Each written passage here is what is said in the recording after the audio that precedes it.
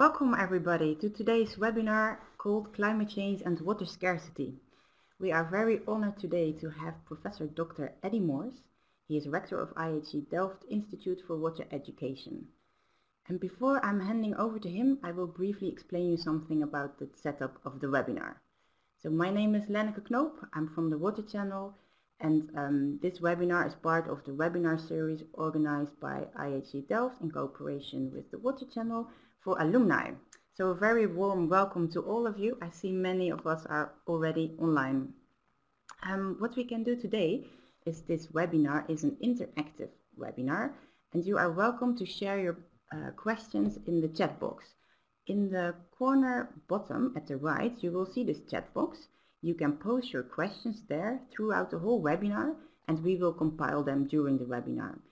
After the presentation of Eddy Moors, we will post the questions one by one, one to him and he will answer them for you. Then finally, I would like to ask you if you can share your name and your expertise also in the chat box, so in order for us to have an idea who is actually here in the room today and um, all recordings will be shared later on on the waterchannel.tv and on the website of IHE Delft. So today's webinar is about climate change. I don't think the topic needs a lot of introduction, but I'm very happy and honored to introduce to you Professor Eddy Moors. And besides being a rector of IHE Delft, he also holds the position of Professor Water and Climate at the University in Amsterdam. He started his career actually at the World Meteorological Organization, working in Africa and the Caribbean. And before coming to Delft, he also worked at the Wageningen University and Research Center. Having a background in hydrology and climate change, the present focus of his research is on the occurrence of trends and extremes, as well as on measures to mitigate these extremes. And this is actually where I would like to hand over to Professor Eddy Moors to present about the things I just mentioned. Eddy, the floor is yours. Uh, thank you, uh, and uh, I'm uh, very honored that uh, I have the opportunity actually to say a few words about climate change and water scarcity. Uh, what uh, Lenneke asked is if you have any questions to post those questions, but I must say I have some questions myself as well. So besides having questions from your side, I would also be very interested to know about your suggestions and maybe answers that you may have to some of the questions that I will post during my presentation. So what I would like uh, to do is uh, I would like uh, to start by introducing a couple of definitions because I know that sometimes you have uh, different views when using the same words. And then I would uh, like to spend a few words on climate change. Like Lenneke already said, I think climate change is something that everybody appreciates and uh, have different opinions about. So I would like to indicate a few developments that I would like to share with you. Then say something about impacts and possible options for a way forwards. So first uh, the definitions. Uh, one is uh, water scarcity. Um, so the way how I use the word uh, water scarcity is the lack of sufficient available water resources to meet what it needs within a region.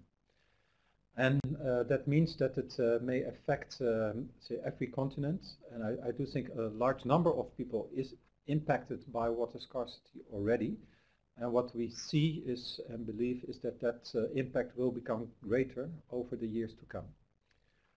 Then uh, water scarcity, uh, I think you can uh, say split up in two main mechanisms. One is one that's more physical, so absolute water scarcity. And the second one is economic water scarcity. And connected to that, I think that the perceptions of uh, the stakeholders, so the, the, people who are experiencing a possible shortage of water is very important. So that's why I put in the, the symbolic design on the right-hand side to show you that even looking at the two-dimensional picture, you could still have a different impression on what you see in a picture. So I think it's very important to share one another's perceptions. To work a little bit uh, further on the definition of uh, scarcity, often we also talk about drought. Now if you talk about drought, if you look at the two boxes that I um, depicted here in this one, on the left hand side you have physical water scarcity and on the right hand side you have economic water scarcity. Now within physical water scarcity I think we're talking about a couple of different sorts of droughts and those droughts are mainly linked to say, the causes why those droughts are happening. So one important one is uh, what we call a hydrological drought. A hydrological drought is where we have a shortage of uh, surface water. Another one is, uh, say, the meteorological drought. And with meteorological drought, uh, we often just look at precipitation and precipitation deficits. Those two are influencing actually the agrohydrological drought or ecological drought. And uh, that drought is the drought that has been experienced uh, because of a shortage of soil, soil water deficits. And uh, that you see reflected often in yields or in uh, vegetation or ecosystems uh, that are experiencing a water shortage. Then uh, another drought that you may have is an, an other hydrological drought, and that drought is not caused by surface water shortage, but by groundwater deficit. And both groundwater deficits as well as the agro agrohydrological drought are depending on antecedent uh, water storage. So the storage term is, is very important in there. Of course, it can also be a surface water storage, uh, but it can also be groundwater storage. The most important, I think, is the economic water scarcity, which is on your right-hand side, where water demand is uh, being, say, created through our socio-economic uh, socio-economic drought. So the water demands, the, the stakeholder is playing a very important part and I think if you start talking about drought, it's about how drought is being perceived by uh, the end user. So it could well be that the farmer is experiencing a drought, while maybe somebody who's interested in, in, in a forest uh, is not experiencing that drought. Or that an, a water resource manager is experiencing a drought because he's also responsible for transportation, so to have enough water in the rivers, while for the farmer at that moment in time it's still not a drought. So I think it's very important to uh, decide which user uh, you are addressing when you're talking about the drought. Then about climate change. Uh, of course, climate change is very much uh, related to CO2 emissions, and uh, this is a graph that shows actually the, the latest review on how much CO2 emissions are there. Uh, that always lags behind a year because you need uh, reporting. So as you see in here, it's until 2016. And uh, what you also see is that um, what we experience is a, flattening of uh, the rise of uh, CO2 emissions, which uh, is a good sign. An important role in there is because of the, the Chinese switching slowly from other energy sources and are reducing the amount of coal that they are using. So that's a very important development and of course most interesting is if we can curb this uh, say stabilized uh, level that we're seeing at the moment towards a decline in uh, the future. That means that uh, we are talking about uh, mitigation of um, uh, climate change and in mitigation side the energy is a very important one because the emissions from the energy is there. Uh, you can separate that in two parts. Uh, one on the right hand side uh, you see the cost of electricity and on the left hand side is the energy generation and of course demand is the, the third player in this picture. But if you look at uh, energy generation on the left-hand side, you see that we are already experiencing a decline in fossil fuels and that we see an increase, for example, in more sustainable energy sources like uh, solar. Then if you look at the right-hand side, and that's very important, is that you also see, uh, I think, an important uh, trend in the cost of uh, electricity. So you see an increase in, for example, oil or nuclear or, or uh, coal energy sources, while you see a stabilizing of wind energy and you see a decline in uh, solar energy. And so this combination of a decline in cost of energy together with uh, an increase in um, energy generation, I think is an, a good driver to make a change in uh, what we are presently using for energy sources. So I think this is a positive uh, development. But even with this development in place, and if you look at, uh, say, the commitments that were done at the Paris Agreement uh, two years ago and how they are implemented, we will not succeed with the present, uh, say, commitments uh, to reduce the amount of CO2 that's emitted to reduce the effects of climate change. So that means that uh, for the future climate, and especially for the first 50 years to come, we have to consider uh, the changes that are ahead. And if uh, you look here, then you see in the right-hand box Uh, you see some of the predictions and projections that are there. Um, we now talk about RCPs, and those RCPs are actually reflecting the level of uh, CO2 emissions and what that means for temperature increase. And so the highest RCP is say around 8 and the lowest is around 2. And what we would like to achieve as an international community is a one and a half degree increase in temperature change. And for that one, uh, we have to increase our commitments to reduce our energy quite a lot. So the message is that we're still not there, so that we should take into account possible adaptation. Adaptation is based on, uh, say, some of the main drivers. Uh, two of them are one, temperature, and the other one, precipitation.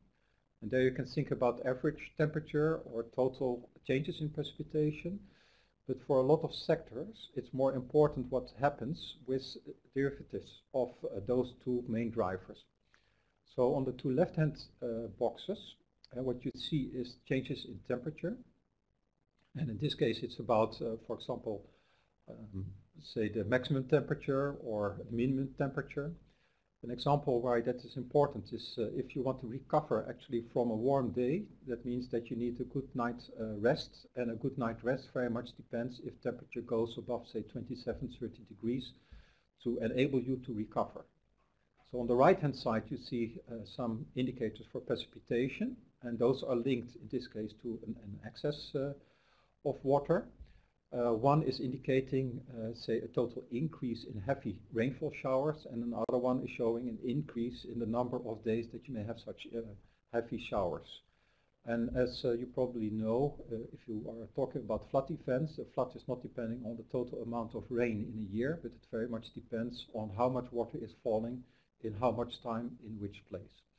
So I think information like that is very important to know uh, what you can do the impacts of uh, those issues, and I just give one example here that comes from the IPCC uh, report, from the fifth assessment report, uh, sometimes uh, can be depicted uh, using, uh, say, images like this, and it shows actually a little bit about how much emphasis we can put on the impact for different sectors of those changes in climate. And it shows for the different regions where we think at the moment that the, the hotspots are, for those uh, changes, but it also shows a little bit about how much confidence we can have in what comes from those uh, projections.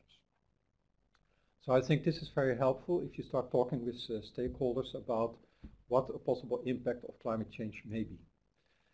Then it's not only climate change, there are also some other drivers that are important to take into consideration, and I think they are related. So one of them is urbanization, and I just took one picture here to show how uh, urbanization is going to increase. And if you look at the global level, the uh, line shows you also a little bit what's happening in the different continents. And you can see that we expect for 2017 that uh, more than 50% of the population on uh, the globe is living in urban areas.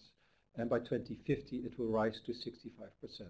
And so how we're dealing with our urbanization and what's happening in cities is very important to know how to arrange, say, our resources. And one of those resources is groundwater. And I just took one picture here from Iran. This is an, an, uh, a groundwater aquifer um, uh, close to Mashhad in Iran. And what you see is that if you look at the long um, year trend, that the groundwater is lowering by about half a meter per year. And this is not an exception. You see that in, in a lot of continents happening. And why this is important is that because uh, groundwater is uh, one of uh, the reservoirs uh, that are, uh, say, there and we can use them if we use it in a sustainable way to overcome a period of water shortage. So it is a possible mitigation uh, measure or opportunity to overcome, say, water scarcity. Now if you look at uh, what is being perceived uh, by the Economic Forum, and this is their latest report from 2018, and this is on perception of uh, risks, and then uh, you see in this graph on uh, the x-axis the likelihood of certain uh, risks, while on the y-axis you see the impact. And so if you look at the right-hand corner, there you have those events that are, say, um, having the biggest likelihood and also the biggest impact. If you look at the left-hand side, at the table, and then you see, uh, say on the first table, uh, the likelihoods. You see the five events that are considered as most likely to happen, and this table just below that, on the impact, say something about which ones may have the highest impact. Just to name a couple of them, uh, the first one is, um, say, the emerging um, or the mitigation of uh, adaptation and uh, mitigation of climate change.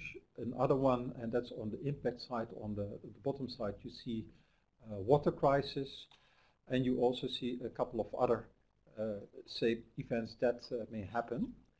Um, we will share the slides later on because I acknowledge that, uh, say, the symbols in the graph are a bit small for you to read. But uh, one uh, other maybe interesting one is uh, the one that you see in, in the, in, the, corner over here, and that says a, little bit about possible conflict and mass destruction that may happen. But here the, you see that the impact is high, but the likelihood is, I think, luckily considered to be low. Now what's in the news at the moment, and I think if you have been following the news, then uh, one of them is uh, what's happening in Cape Town. And in Cape Town it's experiencing the third year in a row uh, a, a, drought. why is this one uh, interesting is uh, because um, it's an expectation if they don't receive uh, water soon, they may end up in a real crisis by the beginning of April. And um, if you uh, look at um, say this slide here that depicts a little bit uh, about the precipitation in Cape Town, then you also see that actually April is the month that the rains uh, will start and that the periods before that are uh, the months with a low in uh, precipitation. That means for that period uh, people really depend about what's available in water storage and Cape Town very much depends actually on surface water storage and there, uh, in, in a number of years, uh, the surface water storage has not been replenished uh, enough to overcome uh, this uh, normal period uh, where you have, say, a limited number of rains. Um, of course, Cape Town is not, say, the only town that's experiencing this. if you look um, a bit further, actually, and we'll come back uh, to that. There are other cities that are also experiencing or have experienced droughts as well, not always for the same reasons though. Why I think it's important uh, to look at uh, what's happening with uh, climate change is that uh, what we see with climate change that there is a shift in precipitation patterns, both in time and in space. This is an example of India.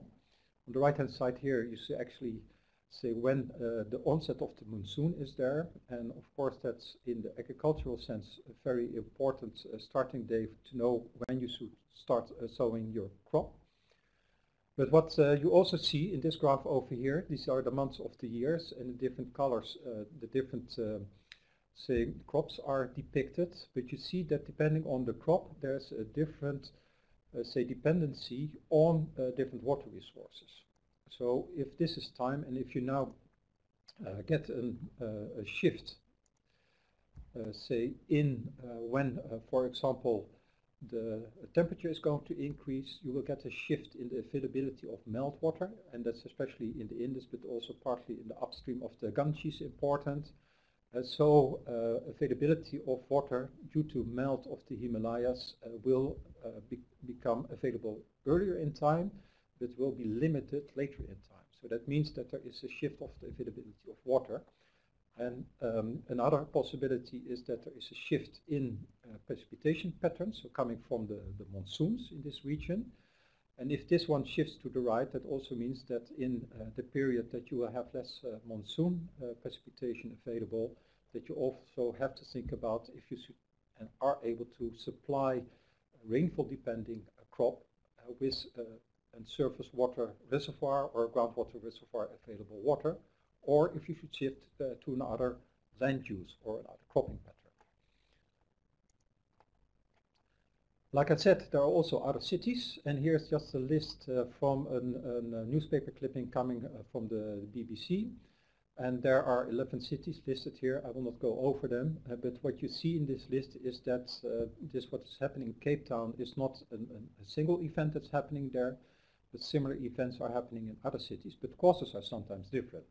So, for example, uh, uh, if you look at uh, Bangladesh, uh, there, uh, besides having, uh, in some cases, a shortage of water, it's mainly the water quality. The same is happening in Bangalore, which is a city with a lot of lakes around it, but the water quality of the lakes is an important issue why a part of the water that is available can't be used, for example, for drinking water or in some cases not even for agricultural purposes. You see this water quality issue coming back in a number of other cities and I think it's an increasing uh, problem that we are facing, but not everyone is aware of this uh, issue. Then talking about ways forward. Now one of them is uh, to increase water productivity because as you know the agricultural sector is a very important water user. That's why I also gave this example from India about shifts in water availability. If we are able to increase water productivity in the agricultural sector and we're able to use this water for different purposes, we may be able to at least reduce uh, the risk of uh, water shortage like what's happening now in Cape Town.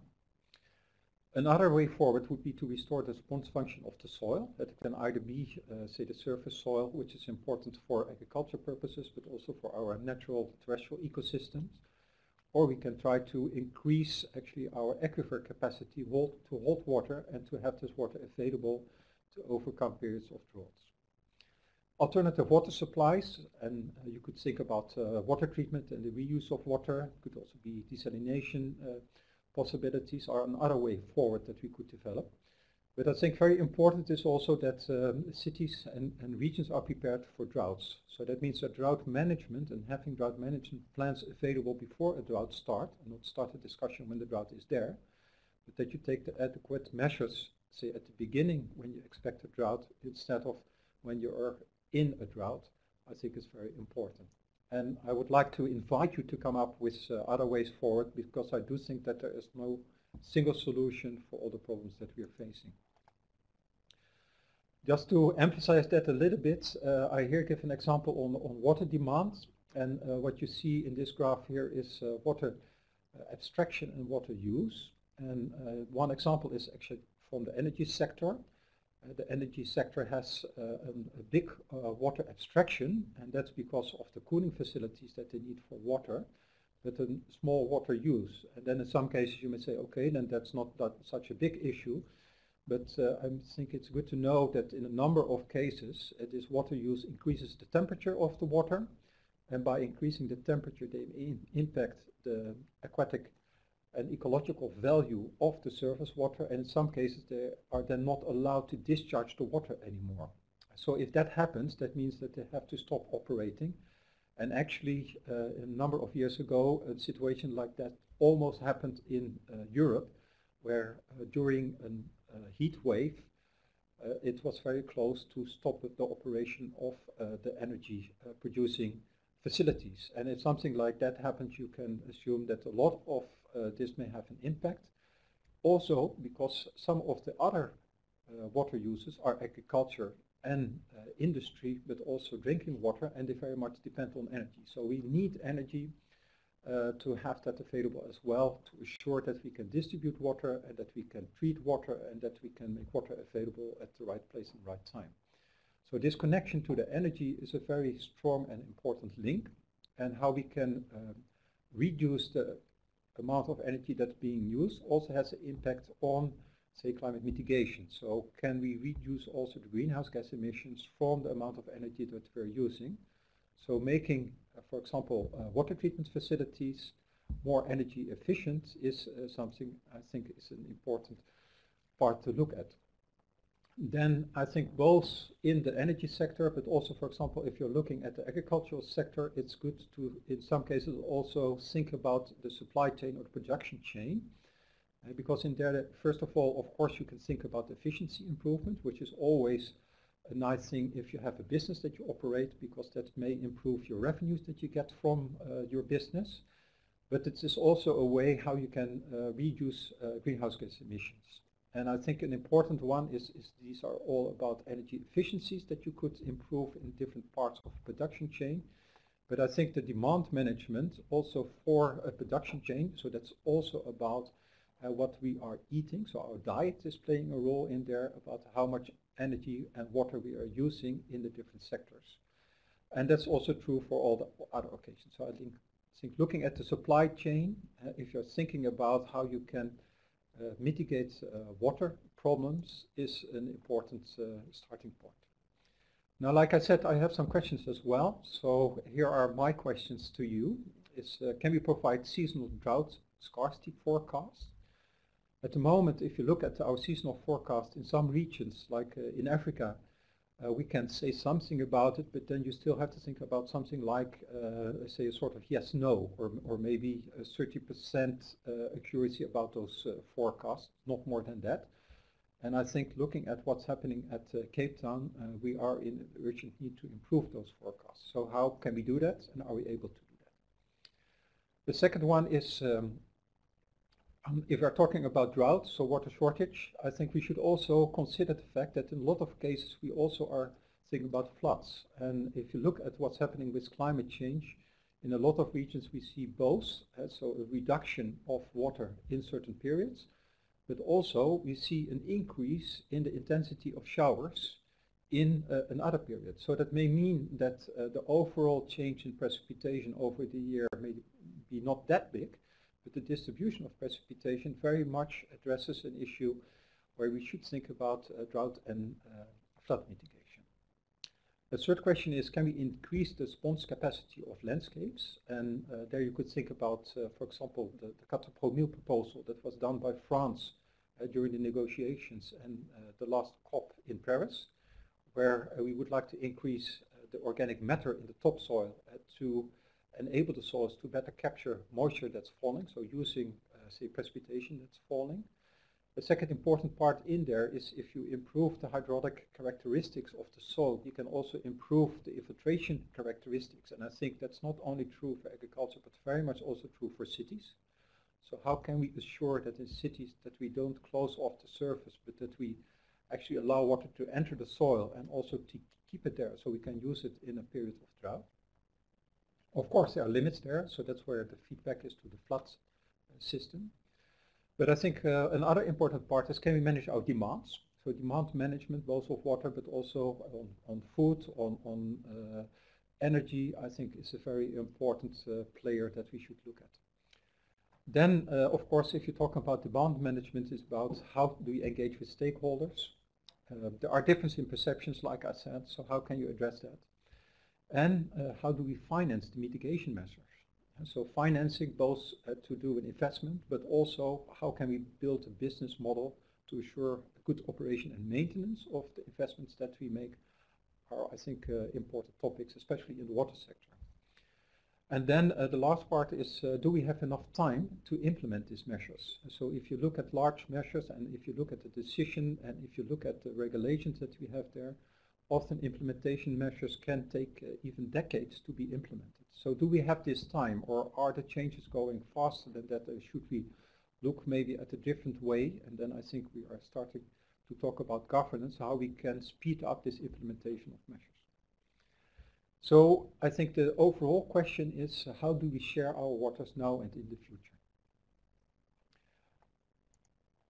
And uh, having said that, I think coming back to this risk assessment, uh, my opinion is that uh, what I think that uh, if you now look at what's happening, for example, in Cape Town, that we see this water crisis that is moment depicted here on this uh, likelihood and impact uh, chart, that it will move up and that it will become a bigger, say, risk and that it may have a bigger impact in the future. And I'm not sure that everybody is aware about this, so I think it's very urgent that we start spreading the news and we start talking about possible solutions, especially because we need such a long lead time to implement possible mitigation measures. And with uh, that, uh, I would like to thank you for your attention and open for questions and suggestions.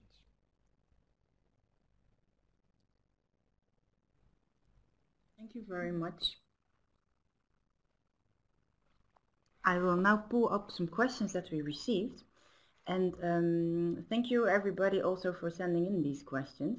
What I noticed is that there were a few questions on slides. So I think I put them up first and then I also put the related slides.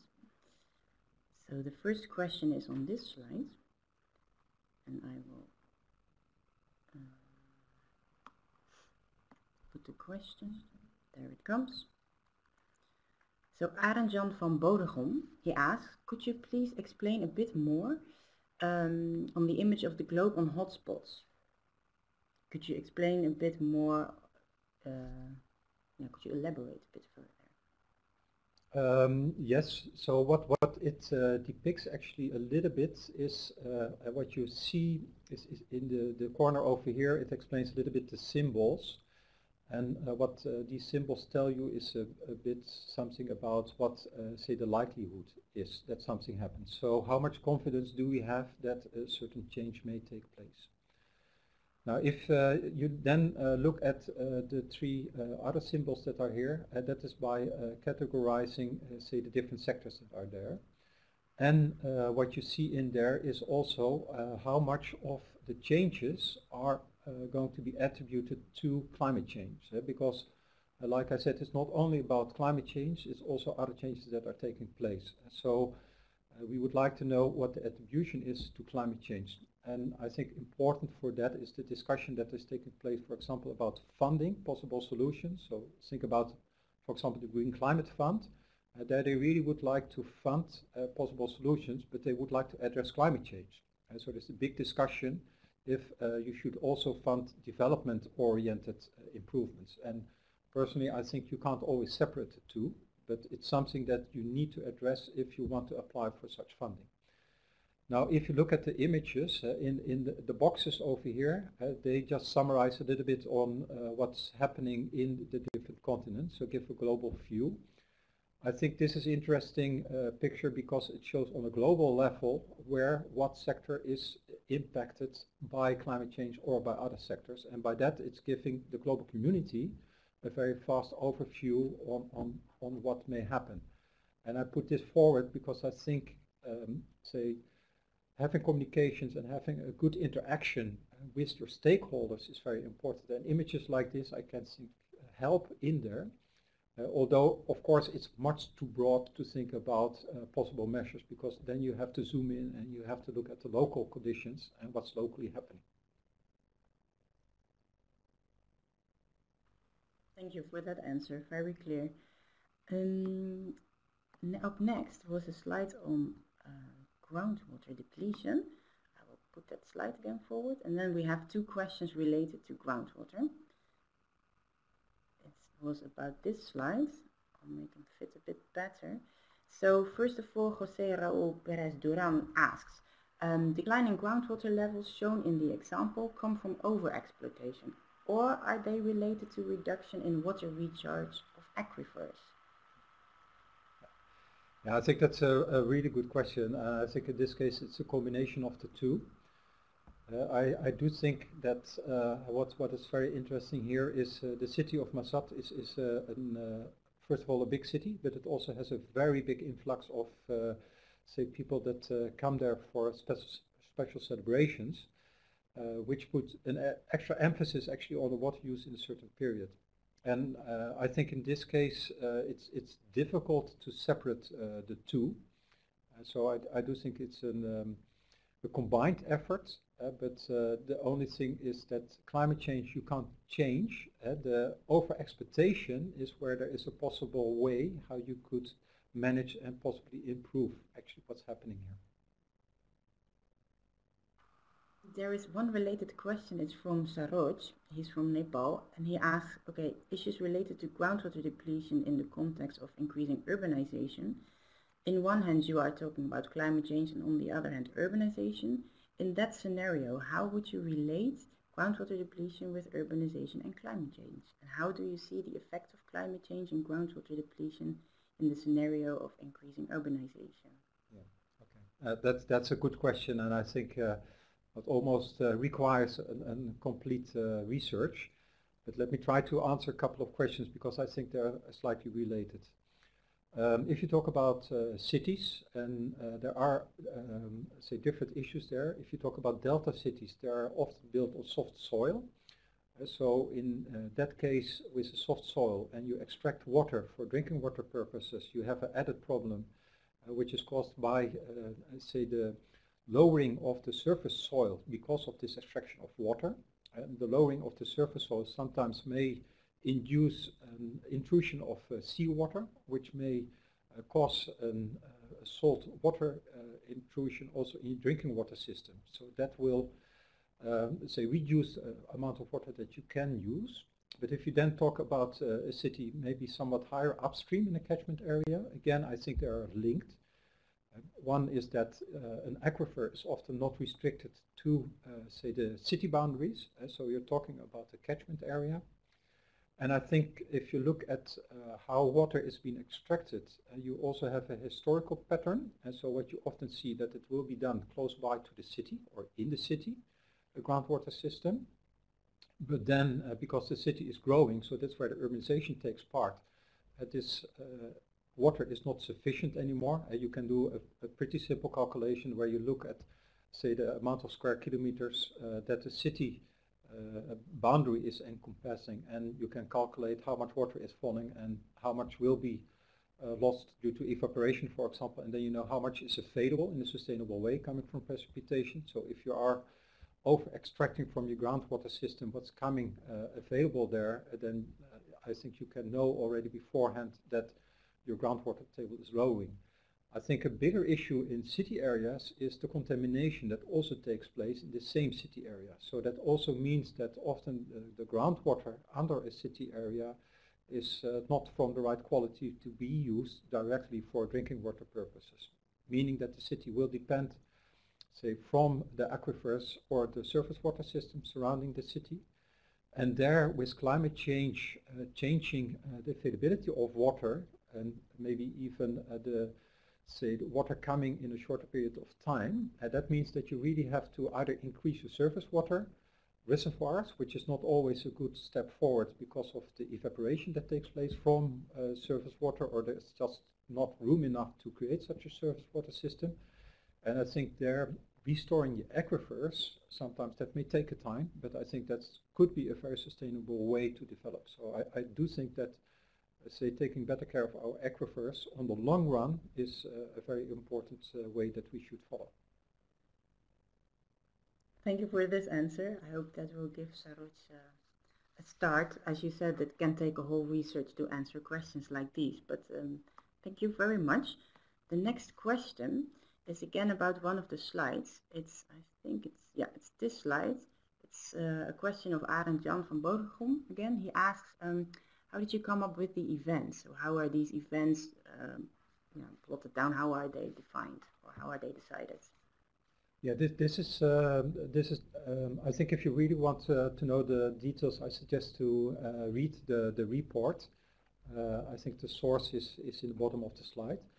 But uh, this is actually how, say, a number of stakeholders that are interviewed by the World Economic Forum uh, how they experience and how they think that uh, the risk will develop in 2018.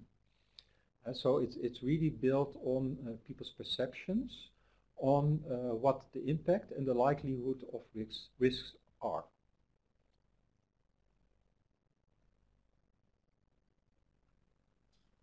Thank you. What we will do, we will also upload the slides later on so people can also see the source because now this is not uh, readable, but we will provide this information. Um, then those were the questions regarding the slides. Then there are many more questions coming in, luckily. Thank you. And I would like to go to another question of Jose Raul. I'll put it up right now. Question is, um, assessment of economic impact is a big challenge when it comes to estimating future trends in prices over long time periods of agricultural produce, for example.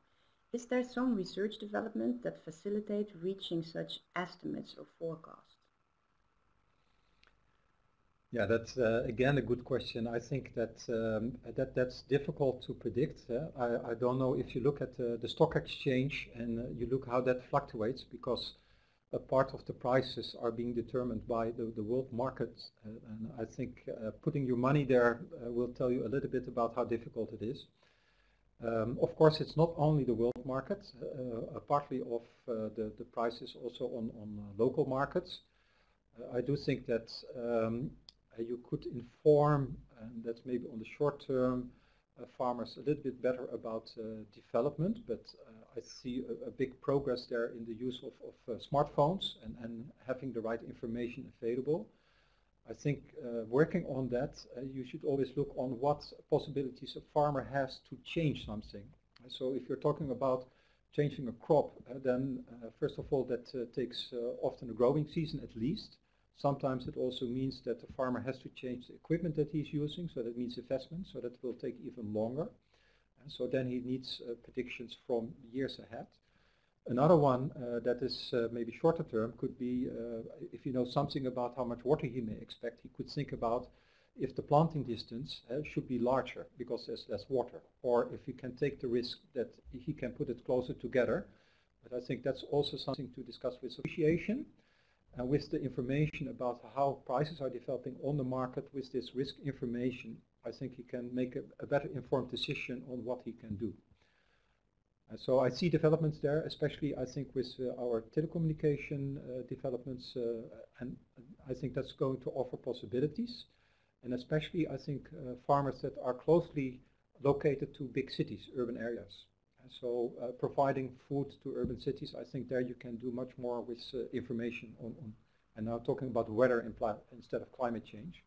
But weather information I, I think can help a farmer to improve, say, the income that he has.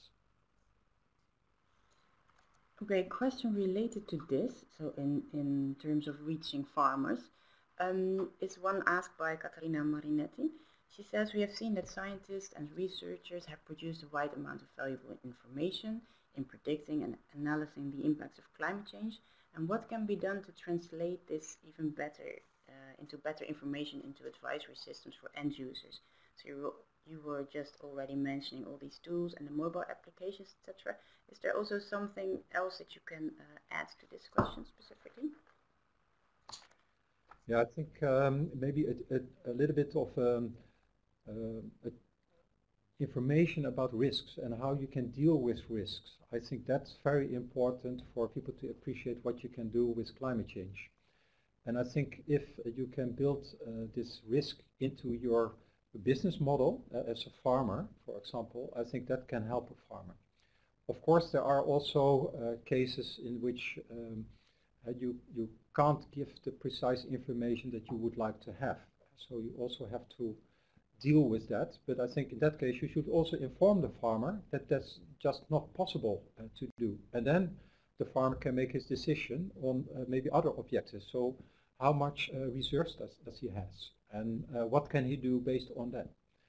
so I think uh, giving him clarity about what you can do, but also I think not a yes or no answer. It's about risk assessment and helping him to make this decision. I think that's the most important thing that you can do. So uh, clarifying the risks that are associated to uh, the numbers that we're providing to them in the form of precipitation or temperature changes, I think that's the best uh, contribution that we can supply to the farmers. Um, thank you for the answer. And I see we have a little bit more time and we also have some questions. Mm, but I see some questions are also so uh, yeah, very broad. I think you can write a whole PhD dissertation on that. So you also ask questions to the audience. And I think one comment um, after the questions that you uh, raised was this comment raised by Katarina, and I think uh, it would be good to, to read that out now to also see how the uh, audience responds.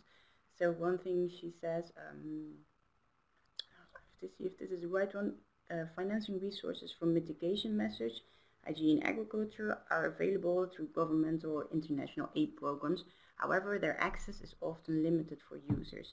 There should be an increase in the internal capacity and expertise of local water agriculture managing authorities to foster implementation of the measures and make them more available to users. So it's a bit also related, in my opinion, to her uh, earlier question. But I think this is one of the ideas that she puts forward um, yeah, when you said, okay, how to continue.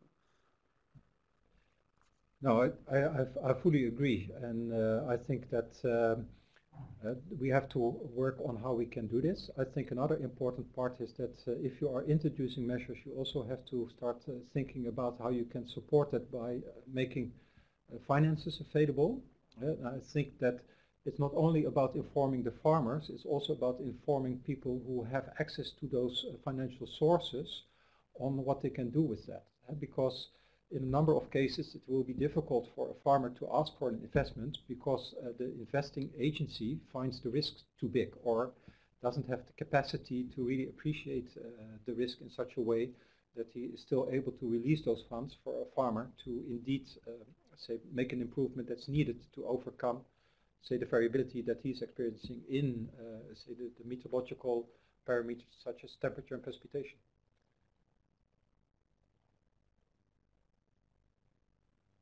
One final question that is lined up. I'll put it here. It's one of the questions that it might take more than a webinar to answer. Hmm, the question is from uh, Professor De Wet. I quickly want to copy it. It's about the Himalaya and changing patterns. Uh, could you elaborate, I don't know if you know this, a bit more on precipitation shifting patterns of monsoon shifts in the Himalayas? Yes. I, I guess this is his work field and it's very interested to know about your opinion on this. Yeah, yeah. okay. Uh, what uh, what you see happening in uh, the Himalayas, and that's uh, very strongly related also to changes in um, sea surface uh, temperatures, is that um, in a number of cases uh, the precipitation is uh, starting uh, later in, in the year and in a number of cases that even the total amount of precipitation that's available in the season is reducing. If uh, you look um, at uh, the Himalayas, uh, then if you go from uh, west to east, uh, then uh, the further you go to the eastern side, the more important the monsoon influences is becoming, while in the western side it's, it's more the meltwater that is determining the water availability. So if you then look at the western side, uh, when uh, what precipitation is falling, for example, in uh, the form of snow, that may delay the availability of water, also very much determine how much water becomes available downstream. The way how the patterns, the monsoon patterns are completely changing, I think that's still very variable. So that means that if you look at the natural variation that you see in there, also in time and space, is as large as what we see in the projections. But what we do see is that this variability is increasing. And I think that's a common uh, image that we see. Uh, so uh, the, the intensity is increasing uh, while the total amount is uh, remaining the same or sometimes also even increasing a little bit, which would mean that you have more water available, but because of this shift in time and space of the patterns, this water is not always available at the place and time that you would like to have it, at least for the present way how we're using water. Thank you very much for this answer. We are reaching now the final question. Make it a bit bigger. And, and that question we just received from Tawengwa Chitata. He asks, what is the potential for experiential learning, like two-way learning, from science policy practice interface in drought mitigation? Yeah, I think uh, I, I'm uh, very much in favor of doing this. So I, I do think that uh, we should learn better from uh, difficult situations that we're in.